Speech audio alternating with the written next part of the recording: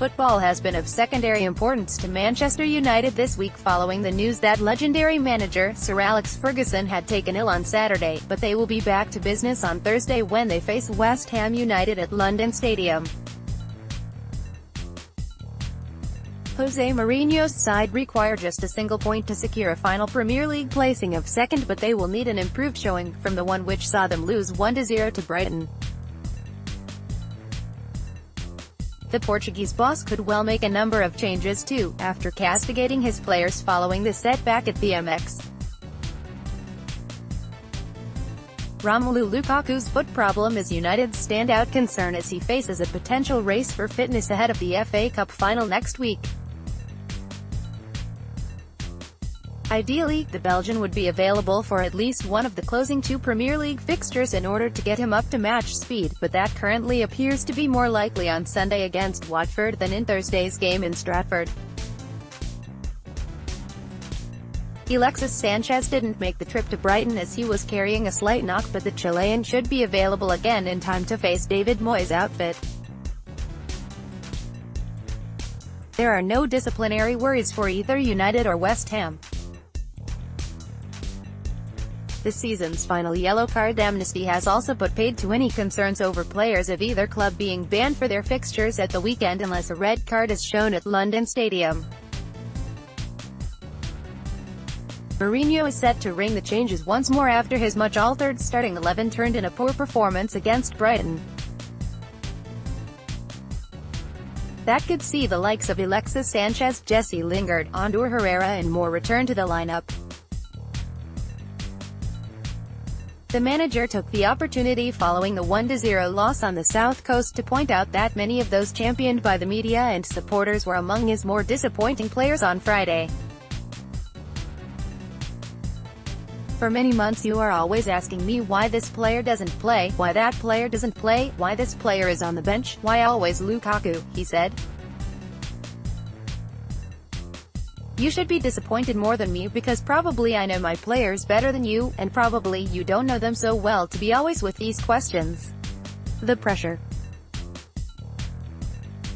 is off for West Ham after they earned a superb 2-0 win at Leicester on Saturday to put them out of reach to at least one of Southampton and Swansea City.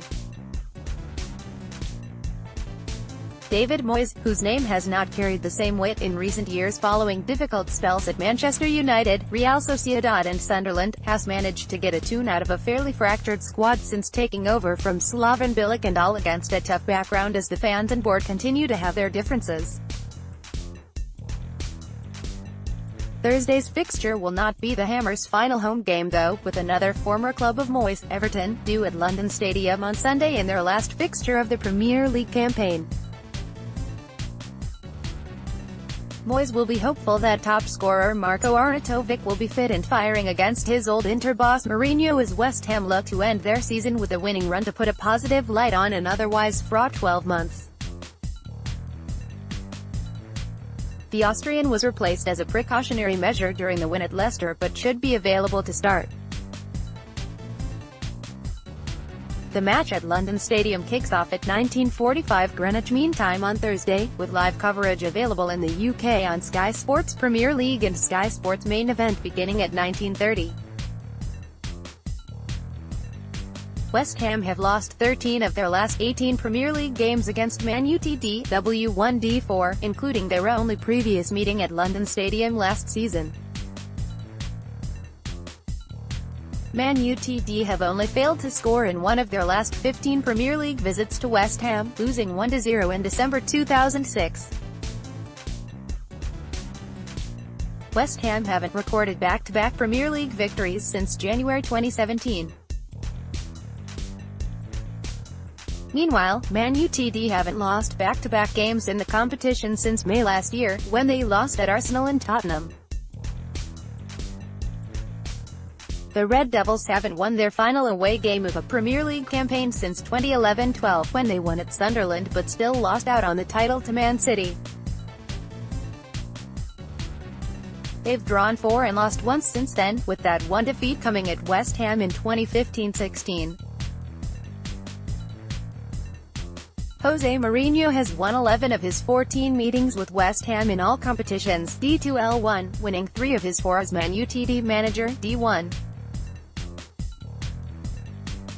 Mourinho has never lost a Premier League meeting with David Moyes P10W7 D3L0, and has only faced Sam Allardyce 12 games more without losing than the Scotsman. Including his matches as Chelsea boss, Mourinho has lost 10 of his last 18 Premier League matches played in London, W7, D1.